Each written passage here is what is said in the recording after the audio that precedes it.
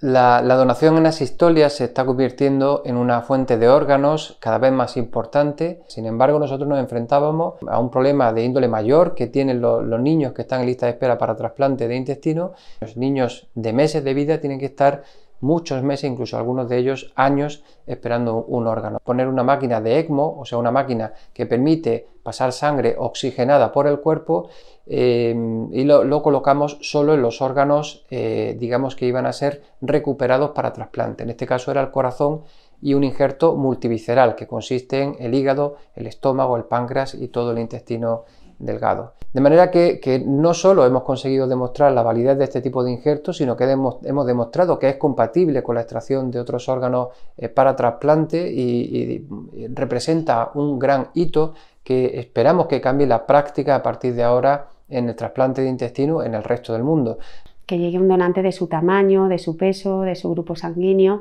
y eso no es tan fácil como puede ocurrir en otros órganos. Y teníamos a, Emma, a nuestra paciente, pues eh, esperando un injerto que no llegaba, cada día más deteriorada, cada día más, eh, más pequeñita, más baja de peso, así que decidimos intentarlo. Le dijimos a los papás de Emma pues, que, no, que no se había hecho hasta el momento un caso similar en el intestino en el mundo.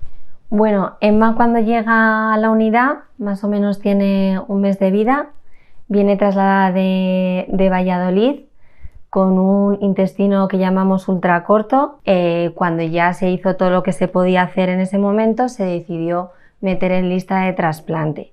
Cuando unos padres se encuentran con un niño con un fracaso intestinal y necesita ingresar en una unidad de rehabilitación intestinal, eh, al principio es una, situación que desorienta completamente, les deja en shock.